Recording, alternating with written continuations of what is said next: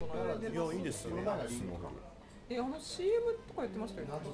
テレ東テレ東じゃなそれとはく違う。違うなんか。名古屋かなんかのローカル局の CM は一回やって。今でも目覚ましテレビのあの6時54朝の6時54分からやってるあのもっと今向きみたいな。パフュームって大体あ。のいやあのやってあのなんつうんだろう変なモデルとかのなん。かあのあ、つながりました。あ、皆さんつながりましたよ。あどうもお待たせいたしました。オンラインオンラインになった申し訳ありません。高尾さんオンラインになりましたよ。チャンスですよ。今 チャンスじゃない今です番組的に今ならチャンス卑猥なことを言えば大丈夫ですよ。世界中に世界中にブラジルでも聞けるこのユーストリームでブラジル人の悪口を言うっていう。今仕事のメールを送ってああ 今喋れなかったチャンスですよ。リアルそそういうギャグありましたっけほぼブラジルっていうことじゃないうまいリアということで、まあ、皆さんが、えー注目する、まあ、まあ。まあ、リンダ三世が出ると。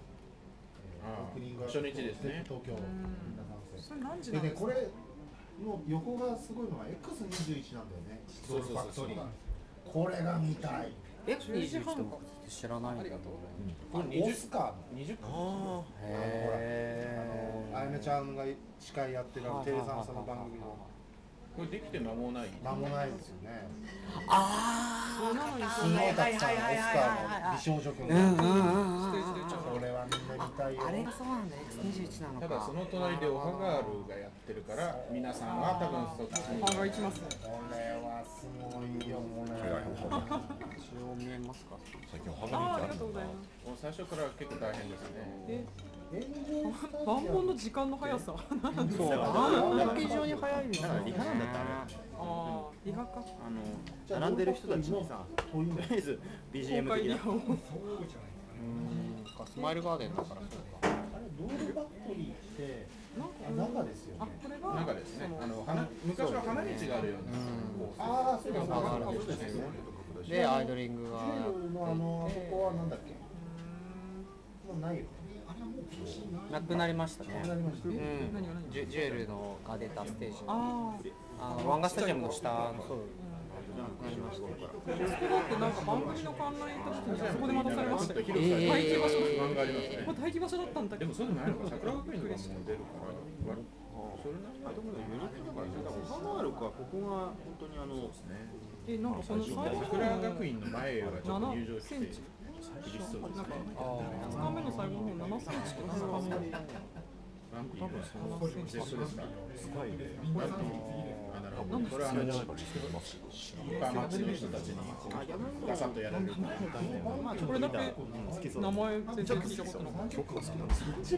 でも本当にアイドルアイドルだからねあの衣装とかまたこの前ねそうそう30分もやることハッピネスっていうあのアイドルイベントが7月の13、14、15ってあったん。だけど、まあ、ベルハート前スペシャル、まあ、ヘッドラインで見てほしい私あとまあとちゃんとしたテーマみたいなの決めてて、武道バッテリーで大阪アイドルライブ JK というエレクトリックリボンとか、ミキチとか、大人だね関西アイドルミキチュー S3 と大阪タケノコとか、まあまあ、出てた、その中に、山梨かなんかの小学校、中学年ぐらいの3人組の人がいたんですよ。パステルリンド曲もすごい良かったんですけど、いかんせん衣装がもう、見てると背徳背徳感もこう感じるような。な。なんていう。なんだっけな、科学部はあのロなんか看護三文字なんですよ。ピンピンクの中で、なんだっけ、あでもこれ素晴らしい。調べよう。これちょっと見たいな。ピンクス、ピンクスがそのやつ規制ちょっと心配ですね。どのぐらいの大きさシュウさんは何中心どこですか？エンジョイしたり。本当に何も決めない。リリースその裏でスカイステージっていうちょっとキャラメルリボン屋上ですね。キャラメルリボンからのリリースがキャラメルリボンからリリース乙女神道乙女神道リンクスか乙女神道超みたい。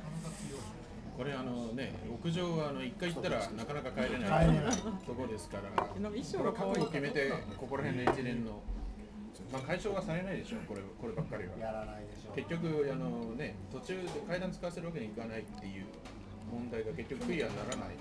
上下移動がものすごい時間がかかって大変だったんででも一番でも手を象徴する場所ですよねね景色込みで楽しいうん本当にそ一緒でも行くんならここら辺の全部見て帰るつもり。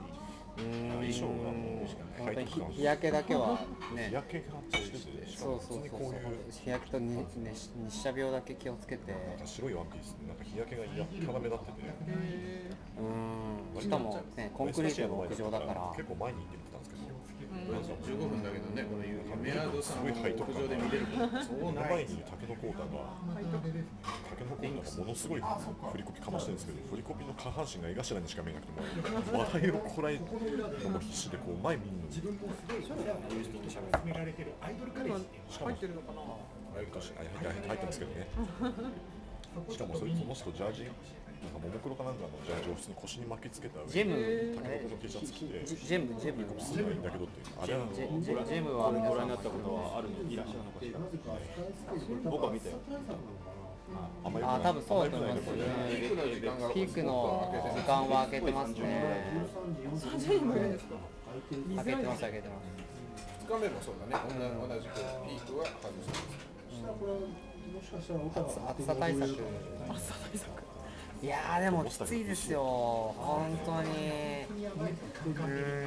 日焼けで本当になんかね焼きすぎて寒いみたいな。焼きすぎて寒いっていう感じになりかねないから。そうそうあれあ危ないですよね。ああ死人が出ちゃうっていう。日焼け止めもう初めて熱中症になったんですよ。初めて珍しいえ大丈夫だったんですかそれは。あなた病気とかするんですよそうです。まあ私も一応するんですけどそう去年大倉の西武ドームあの TIF の後行ったからそのライブ中にすごい具合悪くなっちゃってそれが嫌だった。うん生2つとウーロン生二つ茶。生2つとウーロン茶。をしたあと梅酒です同じものはい同じものです。あまだまだままだ動いてるんですよねあまだ切れてるあ配信してるんですかとりあえずなんかあれですか時間そのすごいね時間中に行ってるっていう感じですかそれとももういきなり全然日付初日2日目関係なくおすすめを言ってっていう感じなんですかライブエディはグランドフィナーレで出るでしょでも出るけど意味ないまあまあ責任有料なんで。喋ってる感じ。僕去年押しじゃんしたけどね。でも2日目リューティスト見たいですよね。うん一番大鳥で。見ようとして見れなかったんですよね。あのステージが壊れたああいや2日目に振り返り振り返りになった。2日目に振り返りになった。あそう2日目のスカイステージに振り返りになった。あここのリュウティストありがとうございます。えー、伊藤洋軍団第一弾、世界が感情を取り戻す燃えろクローバー Z の増刷詳しく知らないあの一曲は好きですただきました。皆さんもしよろしければ違う。お買い上げ。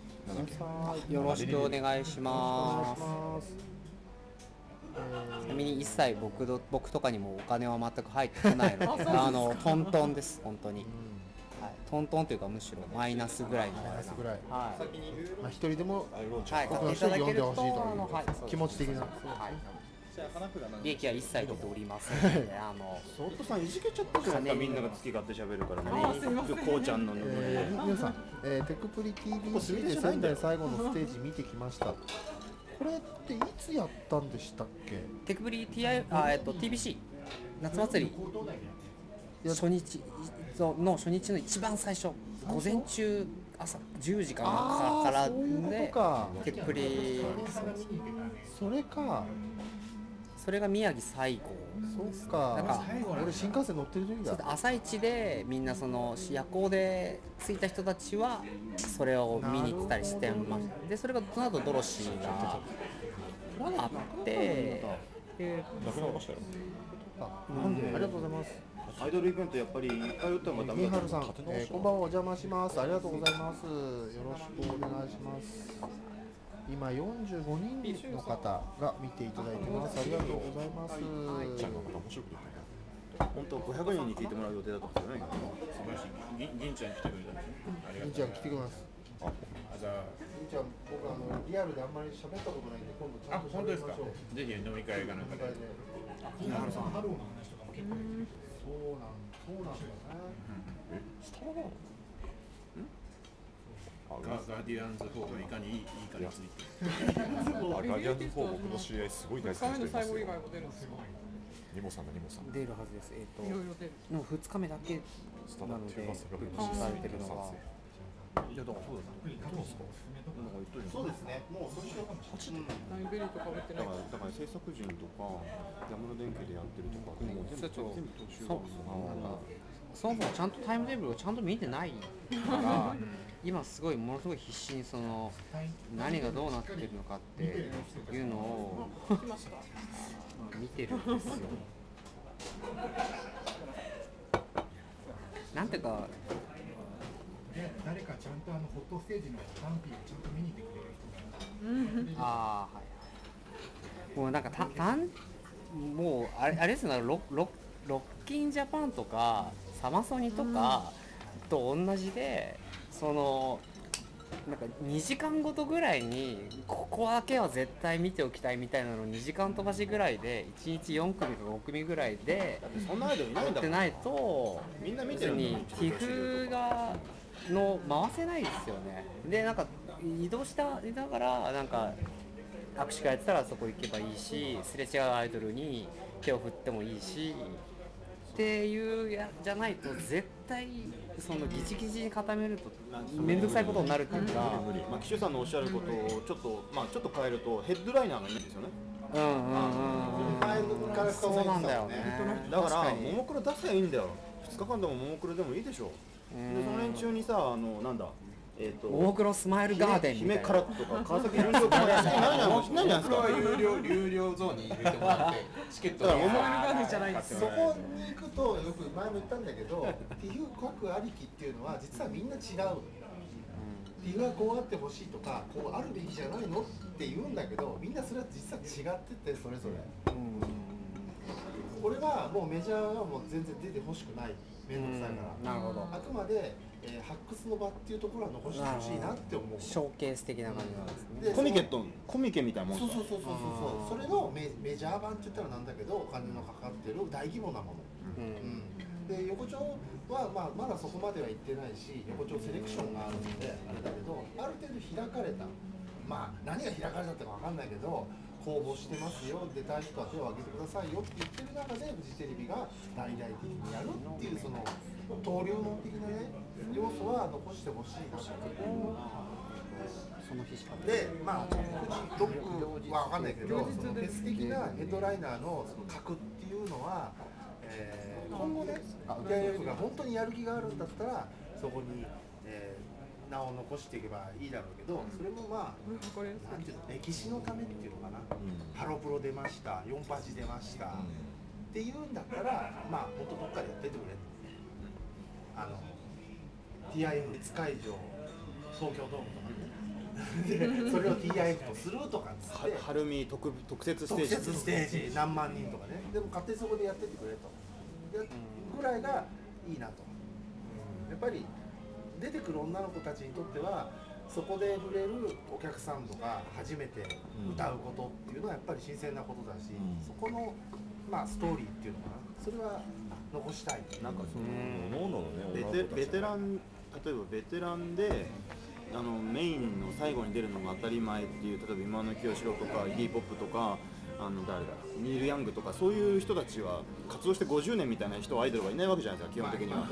だからそう考えるといわゆる大御所っていうものをアイドルとなんか矛盾しちゃう言葉になっているので、そうすると本当に単純に集客のある人たちがメインステージの一番最後になった方がフェスっぽいといえばフェスっぽいんだけど物差しがだただももクロのドームに行く人数とティフに来る人数って多分ティフに来る人数の方が少ないわけじゃないですか、そうなるとやっぱティフはあのももクロはオーバーサイズになっちゃうしかといってももクロの次のポジションとか同じぐらいの知名度の人たちってティフに出れるかってなったら出れないわけでしょ？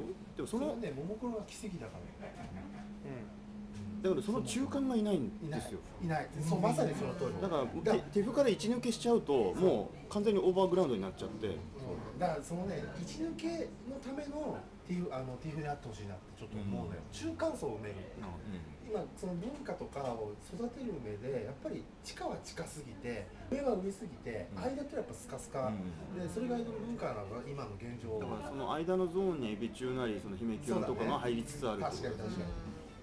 地方地方出身の実力のあるグループリンクとか、それかあの東京のまあ名門名門校出身の2番手3番手みたいなのがっていうことですおっしゃる通りだからそのその人たちがティフに出てほしいんですよ。確かにね。ないよね。そこのフェスがないよね。ヘッドライナー級で出てほしいんあですよ。それができるとしたら結局もうぶっちゃけた話僕女子流としか思えないんですよそもそも。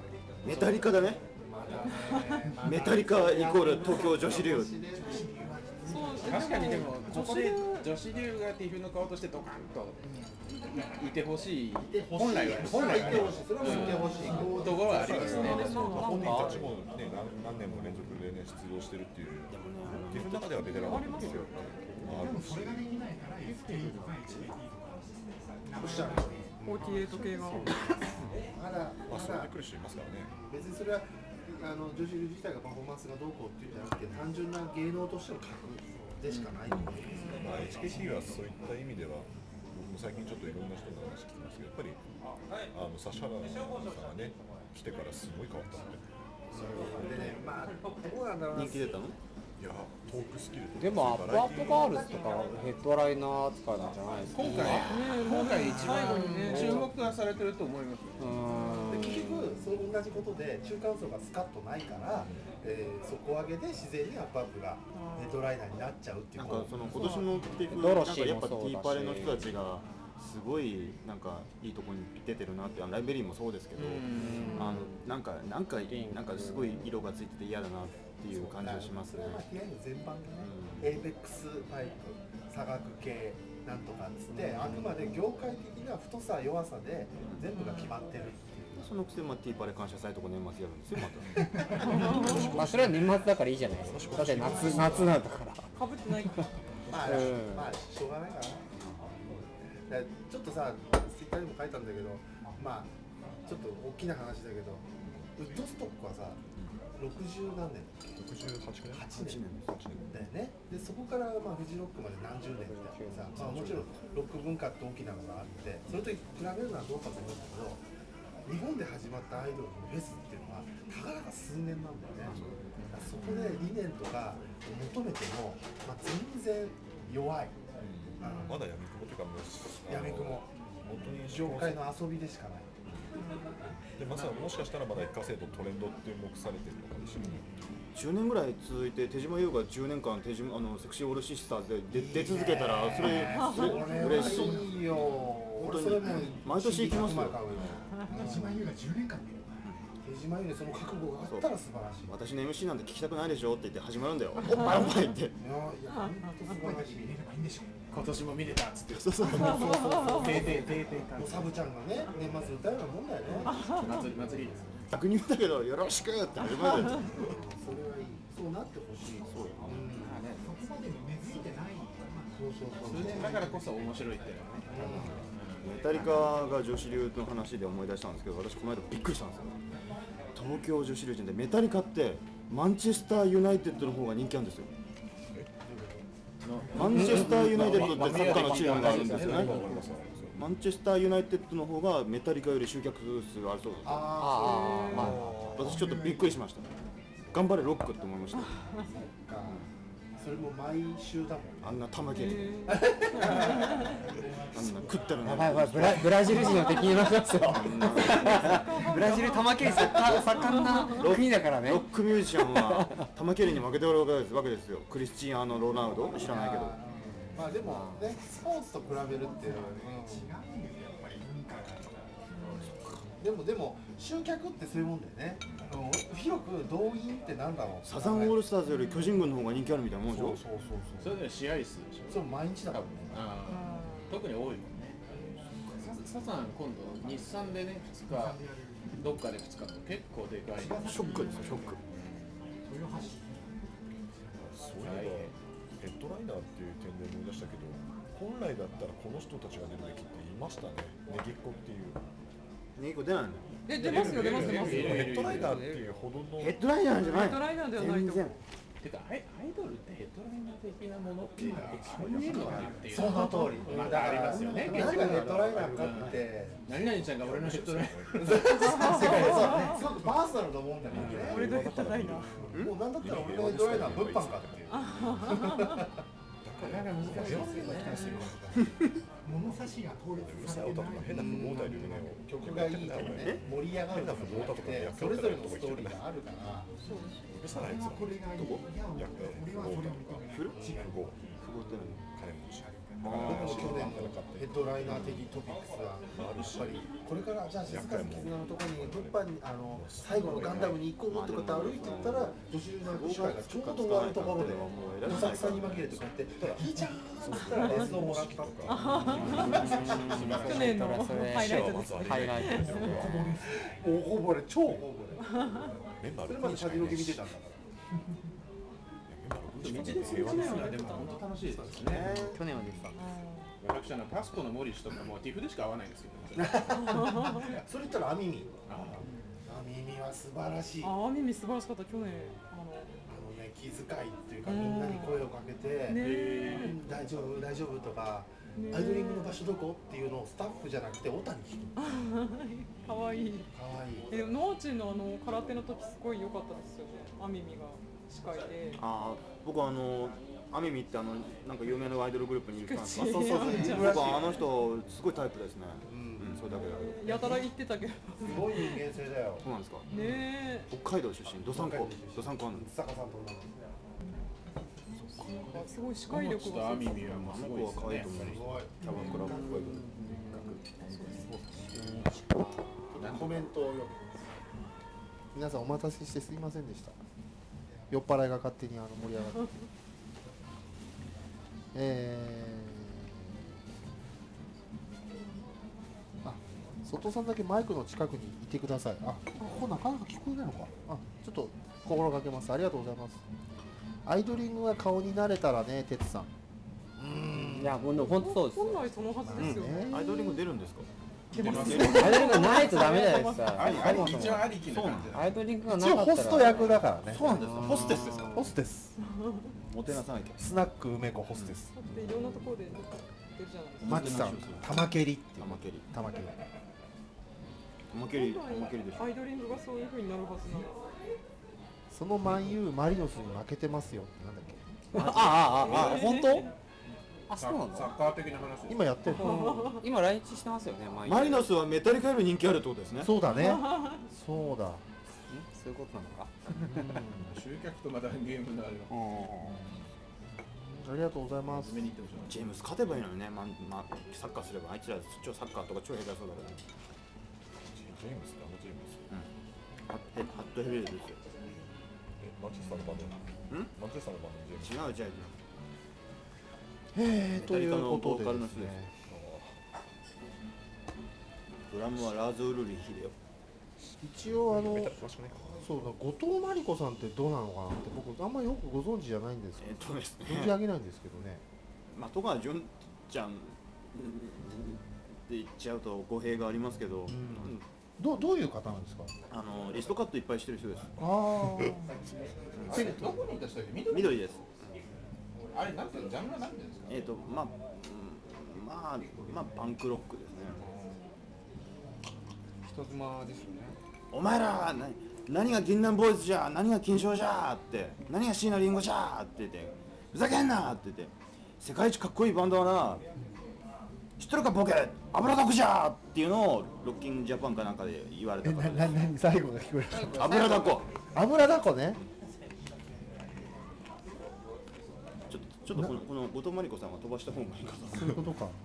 話してないまあでもねちょっと話違うんだけど今度大森聖子さんも出るじゃないですか。アップアップガとアップガとやるってカジ先生が一番好きな大森靖子さん。いやで大森靖子にアップアップガールズ全然まあその深尾さんも言ってたけどねあのアイドルでも何でもない。全くその通りなんだよね。ただすごいなすごいなと思ったのは女性アーティストってなったらアイドルファンは何でも受け入れるなっていう。うん。その間口がすげえなってちょっと思ったんですよ、水森亜土たんだってね。そうかもしれない。水森アドがラップであの歌いながら書いてたらそれでおアイドルになっちゃうんだなっていうのはちょっと思ったんだよね。受け入れますねうん。そのうちだから矢川澄子の詩を朗読するだけでもアイドルそうかもしれない。バンピーもそうだし。いやそのなんだろう。まあこれが TIF かどうかは別として。でも介護がいいよね。介護ない子やよね。うんまあ大森さん可愛いからね。だからねそういうそのななんでしょう。まあアイドルファンっていうのはやっぱり今のアイドルファンは間口広いしあんま硬いこと言わないんで、何でもかんでも女性タレントだからっつって引っ張ってきてなんか歌でも歌わせてステージやらせるっていうのはこれ十分ありだなって思いました。この前大森さんのやつを見て。で大森さんのライブ自体はすごい素晴らしいんだけどね。せっこさん好きなんですか大森さん。好きでしょ。あいやあのライブ見たことないんですけど。嫌いなわけないです ちょっと決めつけないでください。えねこれでもうもろにさコラボコラボ資産またごとまりごとまりごちょっと我々話すのちょっと面倒くさいっていうえー初日の取り上げられもしなかっ違うなドルファクトリーの。でも多分多分みんな聞きたいのはあれでしょ？みんな聞きたいのはさ TIFF のさなんか2010年の桃色クローバーみたいな2011年のドロシーみたいなそういうのは今年どこがあるのってあなたたちの日記を教えてよっていう去年そっちなんじゃないですか。去年去年どこなんだそういえば去年どこだった？去年どこ去年はどこだったのっていう話でもあるしもうありえない気今がする。年はそれはある。でも期待してる人多いわかるけどね気持ちはわかるけど気持ちはわかるけ今年なんかどブレイクするのってないの。こでもリューティストとかあるし。うんでもユージスもまあ知ってるっちゃ知ってるからね多数多数ねうま多数うん。伝説が生まれるのとあと結果結果から引っ張り出されてくるところがそれはもう今は無理なんじゃないかってちょっと思うだって去年は同時間帯に SKE、リンク、ビス、テクプリ、フリュフルーティー、リリカルスクールってやってんだよ、同じ時間帯に。うん。そのなんか、でもう決定あ、その時間にナインもやってる。あー私何見てたわあとは映像が残ることうん。その通りですね。結局は後から確認できるかどうか。その通りあうまいこと言う。えーそれで言うとやっぱアップ側いい位置にそのそうだ ZEP にいるから映像も多分撮られるそうだ。だろうしそうだ結局後から参照できなきゃそのそうだそうだ。うん人からいくら噂で言われそても。の通りだ。そうそうそう。だからドもロシーのあの映像は残ってないんだよ。そうそうそう。口ではすごいってこうああ見つけてくだいさいっていうああ確かに MC は残ってないですスマイル側では残ってない。そうですよね。えなんかニコ生とかでも撮ってない。ん。ですか撮ってないだからそこがフジテレビの辛いところでそこのその柔軟性がとてもないんでね。あのもう撮るここのステージしか撮らないそうそうカメラ回してるそれをコンテンツとして利用するっていうところしかなくてだやれユーストだニコ生ってことはやらない。うん。それはフジテレビの硬いところあれ有料チケットでニコ生で見れるのは多分おそらく全部メインステージとメインステージだけ。そそうですねよい子浜口の司会の行ったり来たりのパターンがうん。去年でしたもんね。あそうかそうかそうかそうかそうかそうかそうか。多分ややっぱりだからねそのアップアップガールズはやっぱりこう今回ドンと売れる売れるっていうか。まあ一応注目のうグんループとして定義されてるってことでも実売700万ことはあると思うけどね確かにまあ枚数が全然多いみたいな確かに？だってももクロだって2010年の TIF のあの走れの映像はた多分現場でうん。でやっぱり映像が異常に良くてでその僕もそのさっきのその世界を感じてるモンスでやった時にそのいろいろ見てみたけどその例えば2ちゃんのねなんか狼スレのあのサイトの過去スレとかも掘ってみて、やっぱり走れがエモいっていう話になったのはなんかその、えっと、TIF の直後じゃなくてあのスカパーでさスカパーだっけ？ワウワウだっけ、えっと、スカパー。か。スカパーで再放送されて放送されてそれがその映像が YouTube に上がってからそっから誰かがいやなんかかな子のあの大サビの部分を見てるとなんか涙が出てくるんだけどみたいな書き込みをひんきっかけでわーっとそっからあのいや俺も実はそう思ってたみたいなのが、まあ、わーっと続くっていう。完全に YouTube 文化ですもんね。そう。結局だから現場に行ってなくても後追いで映像が伝えるものが何か共有できるっていう出来もいいからちそょっとちょっと現場を超えてるんですよね。超えてる。全然超えてる。うん。全然超えいてるあるあるんですよやっぱり。いよくできたやつって現場超えちゃいますよね、追体験ができるでも僕なんか吉川優とか去年の、はい。あのほえっ、とステゼあのダイバーシティか。ダイバーシティの映像とかすごい良かったと思った、ね、なんかすごい笑顔とかパッと安定した時の表情とかスイッチングとかもすごいよいいなと思いながら。しなんかなんかそういう意味では